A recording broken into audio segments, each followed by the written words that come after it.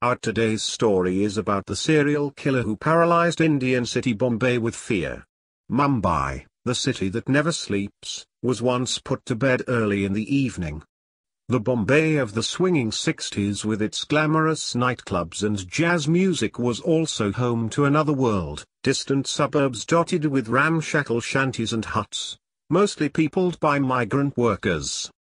Mumbai police, who grabbed the underworld by the throat, once fell short of hands to piece this puzzle together. And it was in these squalid suburbs that a terrifying wave of murders took place in early 60s.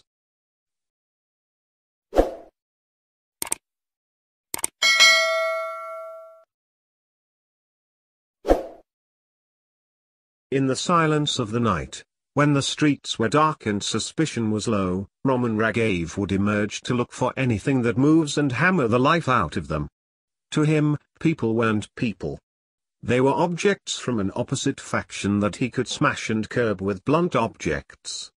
There seemed to be no discernible motive. Parks and streets emptied out at dusk and in many areas, nervous residents carrying sticks patrolled the streets. He used a regular steel rod to reduce human faces to severed heads and broken skulls. When police found, Raman Raghav turned out to be a nondescript-looking man aimlessly wandering the streets with an umbrella. Between 1965 and 66, about 19 people were attacked by various weapons along the Central Railway line. Some of them bludgeoned to death, others survived to tell the horrific account of a scrawny-looking man. In the meanwhile Raman was arrested by police on complaint of some migrated worker but, he was released due to lack of evidence.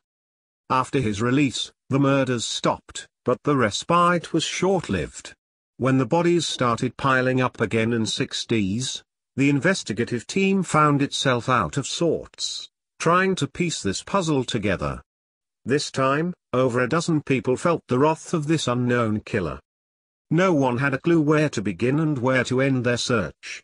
IPS officer Ramakant Sheshagiri Rao Kulkarni had just taken over as the DCP, CID, in Bombay when he was handed this red-hot case.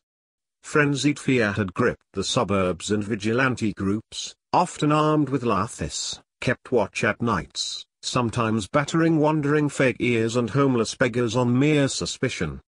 2,000 cops fanned out in the city on patrol duty. Once again, the citizens of Bombay went into a lockdown. Rumors started spreading about the supernatural powers of the killer. When Kulkarni eventually did find the killer, he turned out to be a nondescript-looking man aimlessly wandering around grimy streets carrying an umbrella and a strange assortment of objects on his person. He was spotted by chance by a sub-inspector who noticed that his shirt and shorts were stained with blood.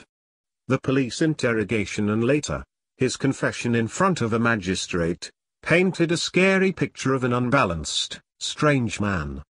His name was Raman Raghav though he went by several aliases, such as Sindhu Dalwai, Anna, and Tambi. It turned out that this was the second time he had indulged in such killings. In 1965-66, he had murdered nine people, most of them living next to a municipal water pipeline in the eastern suburbs. The police picked him up for questioning because he looked suspicious and had been seen hanging around the area. But the murders could not be proved and all that happened to Raman Raghav was that he was thrown out of the city and barred from entering it for the next two years.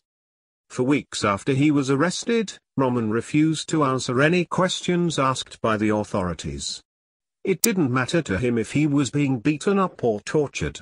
Of all the tricks in the book, it was a chicken dish that made Raman talk. While in the lockup, Raman requested for chicken curry.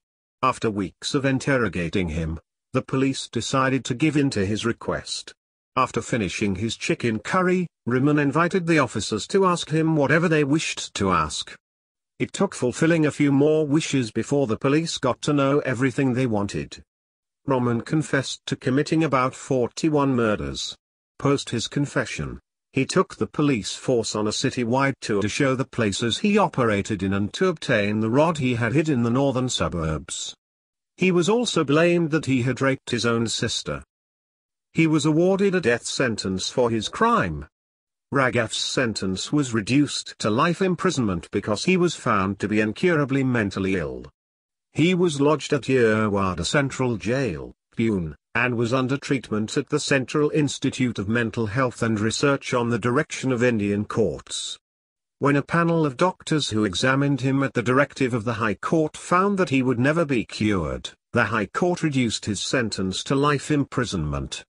Raman Raghav was sent to Yerwada jail where he died in 1988 of kidney failure after 19 years of incarceration. Kindly don't forget to subscribe our channel for more thrilling stories in English and Hindi. Thank you for watching this video.